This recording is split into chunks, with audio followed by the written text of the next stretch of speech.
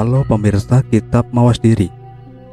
Dalam video kali ini Saya akan membawakan sebuah pembahasan Yang berjudul Jaka Tingkir di bagian ketiga. Dalam episode Jaka Tingkir diusir dari Demak Pintoro. Dan semoga pembahasan ini Dapat menjadi pengetahuan untuk kita semua. Tanpa berlama-lama lagi Langsung saja kita ke pembahasannya Ki Ganjur sowan ke istana Demak. Seorang kawulo yang dipanggil menghadap ke keraton. Biasanya, kalau tidak mendapatkan anugerah atau tugas khusus, kemungkinan besar pasti akan mendapatkan murka. Dan Ki Ganjur sudah dapat memperkirakan dirinya akan mendapatkan murka dari Sultan Demak. Ki Ganjur menunggu untuk dipanggil menghadap ke Siti Hinggil di tempat khusus. Setelah sekian lama menunggu, seorang abdi dalam datang dan menyuruh Ki Ganjur menghadap ke Siti Hinggil.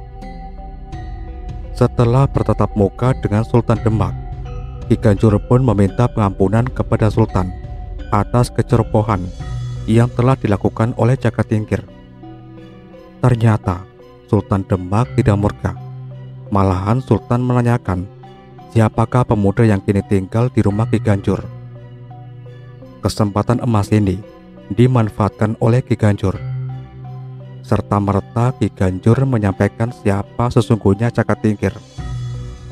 Sultan Trenggono terkejut. Namun, demikian pintarnya Ki Ganjur meyakinkan Sultan.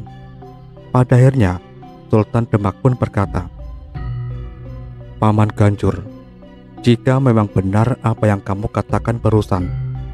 Beranikah Jaka Tingkir aku uji kesaktiannya? Ki terdiam, tapi tak ada jalan lain. Jika memang Kanjeng Sultan berkendak seperti itu, kami hanya bisa pasrah. Tapi beribu ampun Kanjeng, kalau boleh hamba tahu, Kanjeng hendak menguji anak saya Jaka Tingkir dengan cara bagaimana? Kanjeng Sultan tersenyum.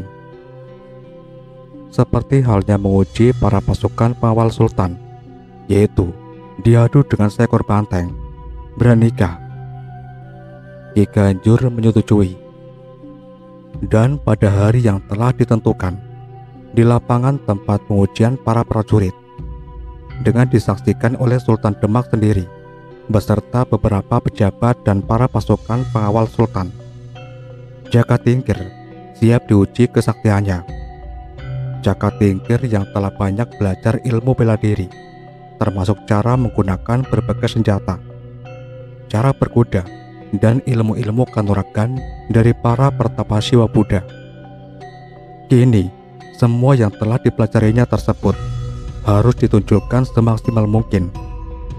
Hari ini adalah penentuan bagi masa depan Jaka Tingkir di kemudian hari.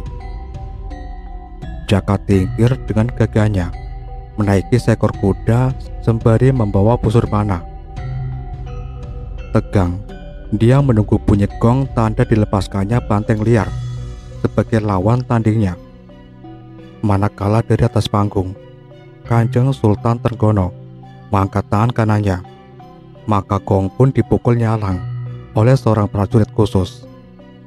Menyusul seekor banteng liar tiba-tiba masuk ke dalam area lapangan. Sorak sore terdengar. Jaka Tingkir menggebrak kudanya. Gemuruh suara para prajurit menambah semangat Jaka Tingkir.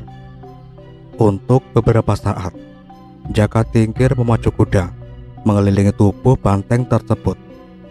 Banteng mendengus sesaat sebelum terpancing. Namun sesaat kemudian, banteng berubah semakin liar. Banteng menyerang Caka Tingkir. Caka Tingkir sigap. Kuda berputar indah, menghindari serudukan banteng. Gemuruh suara prajurit terdengar. Melihat gerakan indah cara menghindar yang dipertunjukkan oleh Caka Tingkir. Sultan Tergono tersenyum. Serudukan awal itu luput. Banteng memutar badannya, mendengus kencang, lantas kembali mengejar Caka Tingkir aksi kejar-kejaran terjadi. Jaka Tingkir dengan lihai mampu menjaga jarak yang tetap antara kudanya dan banteng yang terus mengejar. Dan dengan gagahnya, Jaka Tingkir melepaskan tali kakang kuda sembari mengangkat tubuhnya dari pelana. Dengan posisi miring ke arah belakang, Jaka Tingkir melepaskan beberapa anak panah. Tidak terlihat kapan Jaka Tingkir mengambil anak panah dari pundaknya. Anak panah meluncur deras dan tepat mengenai tubuh banteng itu. Banteng terluka. Serudukannya kegoyah. Gemuruh prajurit membahana melihat ketangkasan Jaka Tingkir yang mampu mengendarai kuda tanpa memegang tali kekang dan sekaligus melepaskan anak panah dengan fokus yang terarah. Banteng mendengus, tapi tiba-tiba dari arah pinggir muncul dua ekor banteng lain, langsung menyerang Jaka Tingkir. Dengan sangat lincah, Jaka Tingkir memacu kuda dan mengambil sebatang tombak yang tersedia di pinggir arena. Sekali lagi, Jaka Tingkir bangkit dari pelana kuda. Tombak terarah pada salah satu banteng. Sesaat Jaka Tingkir mengarahkan tombaknya. Sesaat kemudian, dia melemparkan tombak di tangannya ke arah tubuh salah satu banteng. Tepat, seekor banteng perutnya jebol terkena tombak. Jaka Tingkir berputar lagi menuju pinggiran arena. Dia menyambar sebatang tombak lagi. Seperti yang tadi, Jaka Tingkir melemparkan tombak ke arah satu banteng yang lain. Sekali lagi, seekor banteng terkena bidikan tombaknya. Jaka Tingkir tidak membuang waktu. Dengan tetap memacu kudanya, beberapa kali dilepaskannya anak panah. Bidikan anak panah, tak ada yang meleset, mengarah satu persatu ke tubuh ketiga banteng yang kebingungan hendak menyeruduk. Posisi ketiga banteng sudah lemah. Jaka Tingkir mendekati seekor banteng. Dengan indahnya, dia melompat dari punggung kuda yang dinaikinya, berpindah ke punggung seekor banteng. Banteng melonjak-lonjak. Nampak Jaka Tingkir ikut terayun-ayun. Namun, dengan kecepatan yang luar biasa, Jaka Tingkir menancapkan sebilah keris di leher banteng yang dinaikinya. Banteng roboh, meregang nyawa. Seekor banteng yang lain mendekat. Jaka Tingkir lari menghindar. Tapi, cepat keris marah ke leher banteng yang menyeruduknya. Banteng lari ke pinggir dan roboh meregang nyawa. Gemuruh sorak-sore prajurit terdengar. Tinggal seekor lagi Sultan Tergono nampak bangkit dari duduknya. Dia tampak terpikat dengan ketangkasan Jaka Tingkir. Di tengah arena, Jaka Tingkir berlari menghampiri kudanya. Kembali dia menaiki kuda. Tombak kembali dia raih. Dan tombak meluncur mengarah tubuh banteng.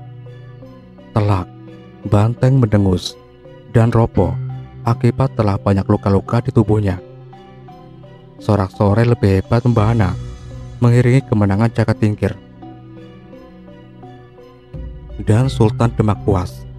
Jaka Tingkir diangkat sebagai lurah prajurit pengawal Sultan Demak. Berhasil dengan gemilang melewati uji keprajuritan. Pasukan pengawal Sultan, nama Jaka Tingkir, seketika dikenal merebak di kalangan istana.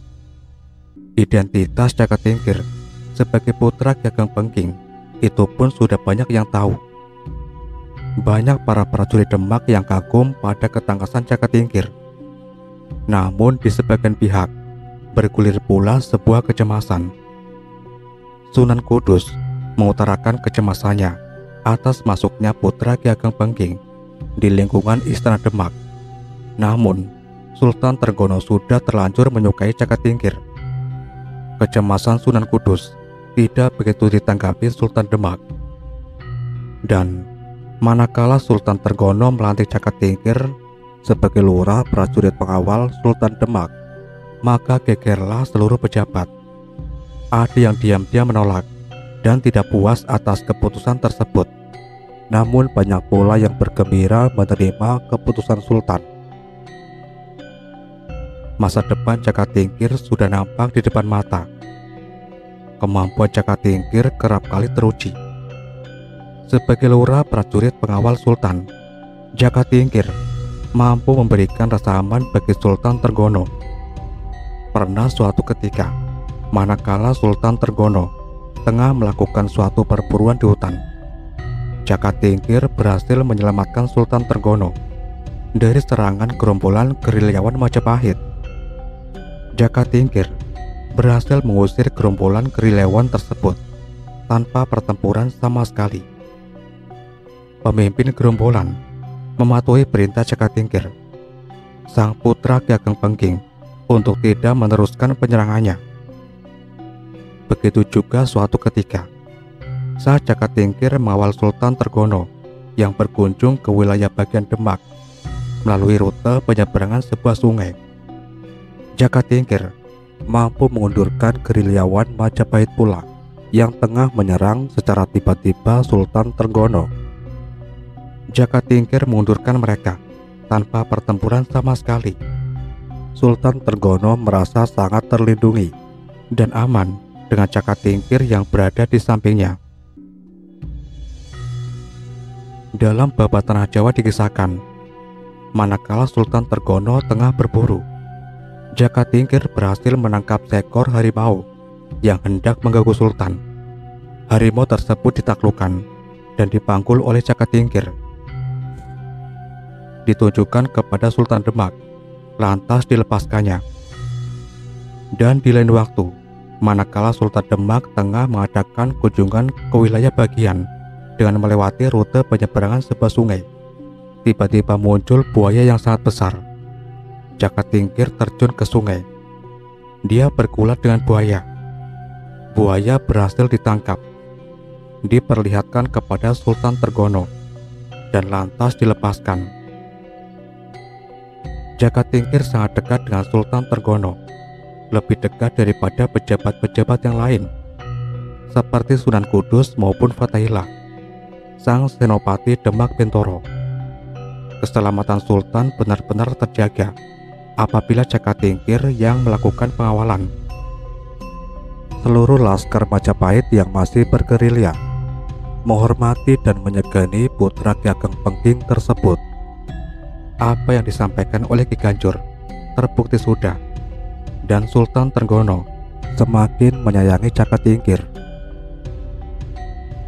Pada suatu ketika, Sultan Tergono mengeluarkan maklumat khusus membuka kesempatan kepada pemuda-pemuda Demak untuk mengabdi sebagai pasukan pengawal Sultan. Sultan Demak menghendaki jumlah personil pasukan pengawal ditambah dengan mengambil personil baru di luar personil angkatan perang yang sudah ada. Maklumat istimewa tersebut disambut antusias oleh seluruh pemuda-pemuda Demak. Banyak yang berdatangan ke ibu kota Demak mereka mengajukan diri untuk bersedia mengabdi sebagai anggota pasukan pengawal sultan. Setiap pemuda harus melewati ujian-ujian yang tidak mudah. Banyak yang berhasil, tapi lebih banyak pula yang gagal. Jaka Tingkir mendapat tugas melakukan penyeleksian dan pengujian. Konon, seluruh pemuda yang berasal dari padepokan-padepokan di tanah Jawa banyak yang berdatangan dengan mengandalkan kesaktian yang telah mereka peroleh dari guru masing-masing. Para pemuda ini mencoba peruntungannya di Demak Bintoro. Pemberontakan Gagang Selo Ada kejadian menarik. Putra Ki Ketas Pandawa, guru Sultan Tenggono yang bernama Ki Ageng Selo, ikut mendaftar Padahal Ki Ageng Selo sudah memegang jabatan sebagai kepala pasukan bersenjata Demak yang ditugaskan di daerah Selo. Sekarang tetap bernama Selo, sebuah daerah di sekitar lereng Gunung Merapi. Sultan Tergono jelas-jelas tidak mau mengambil personil calon pasukan pengawal dari personil angkatan bersenjata yang sudah ada. Namun, mengingat Gagang Selo masih merupakan putra gurunya, Sultan Tenggono, terpaksa menyuruh Jaka Tingkir untuk mencatatnya dalam daftar calon-calon anggota pasukan pengawal yang hendak diuji.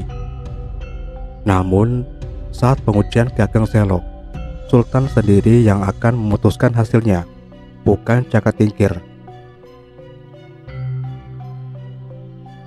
Sebagai catatan, Ki Ageng Selo adalah putra Ki Ketas Pendawa.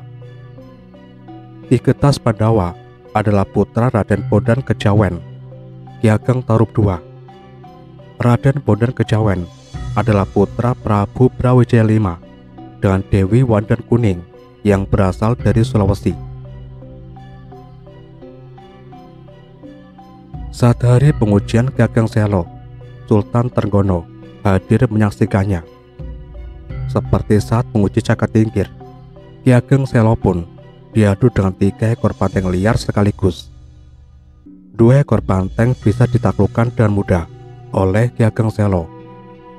Dan manakala tinggal seekor banteng lagi, saat keris Ki Ageng Selo mengujam ke leher banteng, darah banteng tersebut muncrat ke wajah Ki Ageng Selo. Ki Ageng Selo memalingkan wajahnya Cici. Sultan Trenggono tersenyum. Saat itu juga, beliau memutuskan bahwa Ki Ageng Selo telah gagal dalam menempuh ujian. Sultan berkata, Selo, kamu tidak diterima sebab kamu masih cici dengan darah. Ki Ageng Selo marah mendengar keputusan Sultan. Dia kembali ke Selo dan mengumpulkan seluruh pasukan yang berada di bawah komandonya. Beberapa minggu kemudian, ibu kota Demak dikagetkan dengan mengamuknya pasukan Demak sendiri di areal keraton. Fatahila sebagai Senopati Agung Demak Bintoro mendapati laporan bahwa pasukan Demak yang ditugaskan di daerah Selo dan dipimpin langsung oleh Ki Ageng Selo tengah mengamuk di istana. Fatahila segera menghadap Sultan Tergono dan memohon izin untuk menggempur Gageng Selo beserta pasukan Demak yang bersamanya. Namun, Sultan Trenggono melarang Fatailah untuk menggempur pasukan yang membelot tersebut secara sungguh-sungguh. Jika memang memungkinkan, hindari korban seminimal mungkin. Dan pesan Sultan kepada Fatailah agar Senopati Demak Bintoro tersebut memberikan ruang kepada Gageng Selo agar bisa leluasa masuk areal keraton. Sultan Trenggono berkehendak untuk menghadapi Gageng Selo sendiri. Jika memang dia berani masuk istana, Fatahillah segera melaksanakan perintah. Di areal istana, Sultan Trenggono menunggu kemungkinan Gageng Selo memang berani memasuki areal istana yang memang sengaja dibuka untuknya hanya pasukan Ki Ageng Selo yang akan ditahan. Ki Ageng Selo sendiri sengaja diberikan keleluasaan untuk memasuki istana. Sultan Tergono menaiki seekor kuda dengan dikawal para pasukan pengawal sultan yang dipimpin oleh Jaka Tingkir. Dan benar, manakala di luar istana tengah terjadi pertempuran, nampak seorang penunggang kuda memacu kudanya memasuki areal keraton dengan beraninya. Jaka Tingkir waspada. Dia memberikan isyarat agar seluruh pasukan pengawal siaga. Pasukan pengawal bergerak mengitari Sultan Tergono. Posisi Sultan kini berada di tengah-tengah seluruh pasukan. Ki Ageng Selo dengan beraninya memacu kuda sembari memegang senjata terunus. Sultan terkena tangkap. Dari atas punggung kuda, Sultan merentakan busur panah dan melepaskan beberapa anak panah. Sasarannya bukan tubuh Gagang Selo, namun kuda tunggangannya. Begitu anak panah yang dilontarkan Sultan Tergono mengenai sasaran di kaki kuda Gagang Selo. Sontak kuda meringkik, nyaring, dan tersungkur roboh. Otomatis Ageng Selo ikut jatuh terjerembab. Dalam posisi seperti itu, Jaka Tingkir memerintahkan pasukannya mengepung Ki Ageng Selo. Ki Ageng Selo tidak berdaya. Tombak-tombak tajam prajurit pengawal sultan terarah ke tubuhnya yang masih jatuh terduduk di dekat kudanya yang roboh meringkik-ringkik. Sultan memacu kuda mendekat ke arah Ki Ageng Selo. Dari atas kuda, Sultan berkata, Selo, jelas sudah terlihat kamu sangat sembrono dalam melakukan penyerangan. Seorang pemimpin pasukan tidak seharusnya meninggalkan pasukan sendirian saat pertempuran sedang berlangsung. Apalagi berani menyerang pusat kekuatan musuh sendirian pula. Dan Ki Ageng Selo harus mempertanggungjawabkan perbuatannya. Ki Ageng Selo ditahan di Demak Pintoro. Sesungguhnya ada pemicu lain yang membuat Ki Ageng Selo berani melakukan pemberontakan kecil tersebut. Ki Ageng Selo meyakini bahwa dari keturunan Tarup, yaitu keturunan Raden Bondan Kejawen, sesuai ramalan Prabu Brawijaya V, Eyang Buyut Ki Ageng Selo, bahwasanya kelak dari keturunan Tarup akan tampil menjadi raja tanah Jawa. Wahyu keberapun tersebut belum saatnya turun ke keluarga Tarup pada masa itu. Wahyu itu akan jatuh kepada cicit Ki Ageng Selo yaitu Panembahan Senopati yang kelak mendirikan Kesultanan Mataram pada tahun 1575 Masehi. Dan atas kebijaksanaan Sultan Demak, kesalahan Gageng Selo diampuni. Dia tetap dipercaya memimpin pasukan di daerah Selo. Walau terbatas, hanya dengan 250 personil semata. Jaka Tingkir terusir dari Demak Pintoro. Proses pendaftaran calon pasukan pengawal Sultan berlanjut setelah peristiwa Gagang Selo. Suatu ketika, datang seorang pemuda berperawakan tinggi besar dengan janggut ditumbuhi bulu lebat. Dia mengaku bernama Dadung Awuk. Dadung Awuk adalah pemuda yang terkenal sakti mandraguna. Beberapa anggota pasukan pengawal memberikan informasi kepada Caka Tingkir bahwa Dadung Awuk pernah dicurigai terlibat pemberontakan Raden Suryawiyoto. Saat mendaftar, Dadung Awuk sesumbar bahwa dirinya gatal ingin menghancurkan laskar-laskar Majapahit yang masih banyak melakukan perang gerilya. Dia ingin mengadu kesaktian dengan mereka. Kalau sehari saja tidak memukuli orang-orang Majapahit, tangannya terasa gatal. Mendapat laporan seperti itu, diam-diam Jaka Tingkir marah. Sontak dia datang sendiri ke tempat pendaftaran. Melihat kehadiran Jaka Tingkir, beberapa pasukan memberikan tempat. Jaka Tingkir lantas duduk bersila, berada hadapan dengan Dadung Awuk. Jaka Tingkir sendiri lantas menyatakan keberatan dengan pengajuan diri Dadung Awuk untuk mendaftar sebagai calon pasukan pengawal sultan. Demak membutuhkan orang-orang yang mampu menghargai semua lapisan. Demak sudah kebanyakan orang-orang kolot. Dan Dadung Awuk tersinggung. Dia kemudian berkata, Apakah karena Raden Jakatingkir masih pewaris sah tahta Majapahit, sehingga Raden tidak menyukai saya? Ingat Raden, ini Demak, bukan Majapahit. Dan Majapahit sudah tidak ada apa-apanya lagi. Jaka tinggal diam, lalu dia mempersilahkan Dadung Awuk untuk meninggalkan tempat tersebut. Dadung Awuk semakin lancang. Jika Raden tidak terima, boleh kita mengadu kesaktian atas nama pribadi antara Dadung Awuk dan Jaka Tingkir, bukan antara Dadung Awuk dengan seorang lurah prajurit pengawal Sultan Demak. Gegerlah seluruh yang hadir mendengar perkataan Dadung Awuk. Baik para prajurit pengawal Sultan maupun para pemuda yang sedang mengantri menunggu giliran mendaftarkan diri. Jaka Tingkir tidak menggubris dan Dadung Awuk pun tidak juga segera pergi meninggalkan tempat tersebut. dan bangkitlah amarah Jaka Tingkir, manakala Dadung Awuk sesumbar. Ketahuilah Raden, badan saya ini terasa gatal semua jikalau sehari saja tidak dihujani senjata oleh orang Majapahit.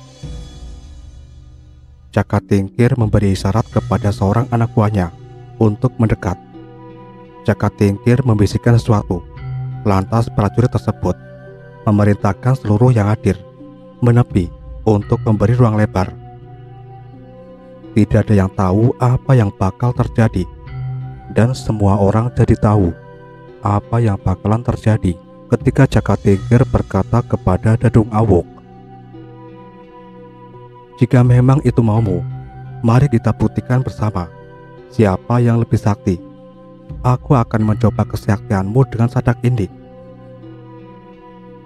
Saat itu Jaka Tingkir tengah memegang sadak. Sadak adalah alat penumbuk buah gambir, di mana hasil tumbukan tersebut dipakai sebagai bahan campuran untuk siri. Panjangnya sekitar 15 cm dan besarnya cuma sebesar jempol tangan. Dadung Awuk mendengus melihat beberapa prajurit telah membuat kalangan atau tempat yang cukup luas untuk adu kesaktian. Dadung Awuk segera beranjak dari silanya. Lantas bergerak ke arah tengah-tengah kalangan yang telah disediakan. Di sana, dia berdiri gagah dan membuka dadanya lebar-lebar. Sejenak, dia mencabut keris Kemudian, mengucapkan keris itu berkali-kali ke dada dan perutnya.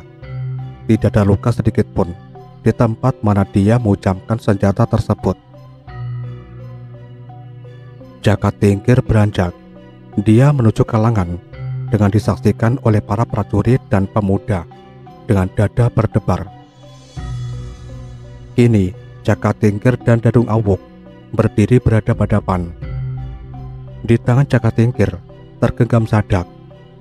Melihat apa yang dipegang Caket Tingkir, Dadung Awuk sedikit mendengus.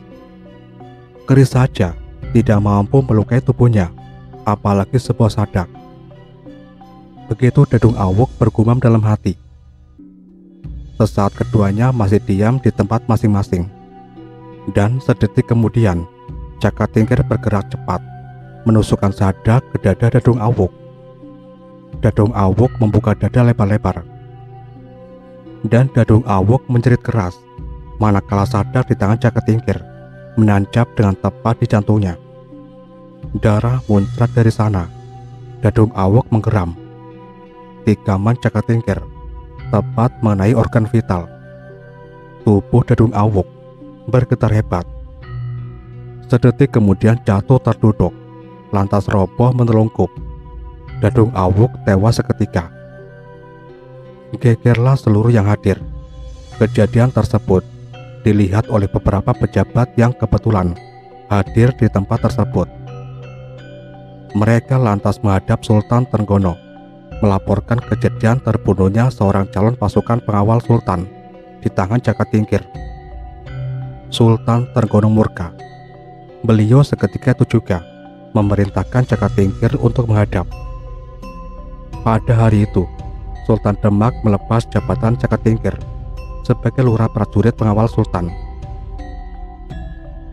Bahkan, Jaka Tingkir diusir dari lingkungan Istana Demak. Jaka Tingkir memang merasa bersalah menerima keputusan tersebut. Namun diam-diam, dengan diusirnya Jaka Tingkir dari istana, Nimas Sekar Kedaton adik Ratu Kalinyamat, menangis dan merasa kehilangan. Sampai di sini dulu pembahasan kita kali ini.